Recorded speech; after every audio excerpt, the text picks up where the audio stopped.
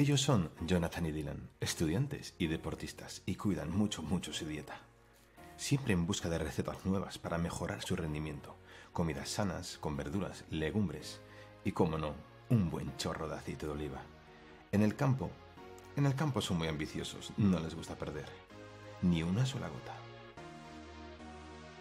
Todos nuestros envases con el nuevo tapón antigoteo, para todos aquellos que no les gustan perder ni una sola gota. Aceites Abril.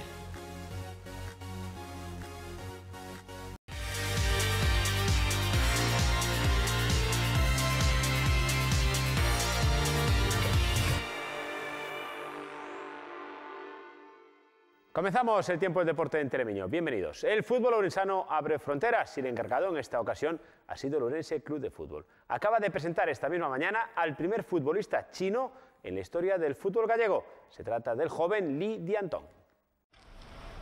El Ourense Club de Fútbol presentó oficialmente el fichaje del centrocampista Li Diantong, de 20 años, el primer jugador chino con ficha profesional en la historia del fútbol gallego. Este chico que sueña con emular a Xavi Hernández mientras chapurrea el castellano y mejora un inglés todavía de supervivencia, intentará erradicar esa idea de los fichajes comerciales, que han ido salpicando el fútbol español en los últimos años y que no han llegado a cuajar. El monfortino Manu Torres es clave en este fichaje. Su empresa de asesoramiento deportivo fue la que lo recomendó. La verdad que estamos moi contentos de poder contar con Lee. Eh, lóxicamente, pois, para ele vai ser unha, unha experiencia fora do seu país, que lóxicamente o seu sono é tratar de ser futbolista e lóxicamente pois elixiu Orense Club de Fútbol como posible escaparate para, para a súa proxección e nos encantados de, de telo con nos aquí.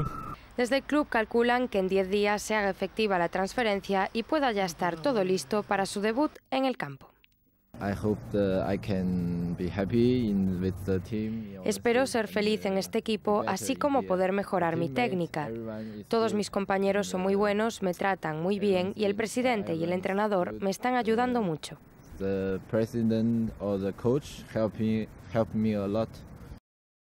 Suerte a este futbolista que tendrá contrato profesional y que disputará la segunda mitad de la temporada con el Ourense Club de Fútbol. También en la tercera división hay fichajes, estos un poquito más próximos. En el Arenteiro llega desde Lordes un nuevo jugador. El Arenteiro sigue retocando su plantilla de cara a una segunda mitad de temporada en la que tendrá que asegurar la permanencia. El equipo presidido por Champinal confirmó el segundo fichaje en este parón liguero.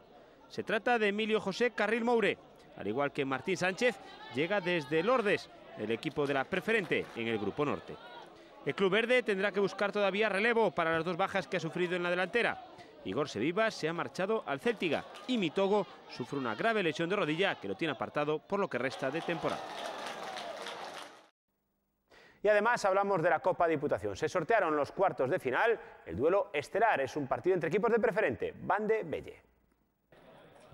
La delegación ourensana de fútbol fue el escenario en el que se sortearon los emparejamientos de los cuartos de final de la Copa Diputación entre equipos de Preferente y Primera Galicia. Deparó como duelo más destacado el que enfrentará a dos equipos de Preferente, Albande y Albelle. Los otros encuentros de cuartos de final, que son a partido único, serán Peroxa Barbadas y los duelos entre equipos de Primera, Franceros Celanova y Arnoya Maside. Los cuartos de final se disputarán el día 3 de marzo. El fútbol ha sido nuestro protagonista en el programa de hoy. Nosotros nos vamos, regresamos mañana, aquí como siempre, en Termeño. Sean felices, abríguense, adiós.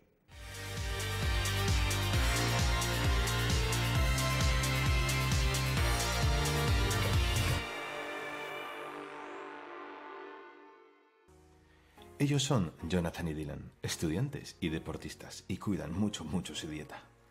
Siempre en busca de recetas nuevas para mejorar su rendimiento comidas sanas, con verduras, legumbres y, como no, un buen chorro de aceite de oliva.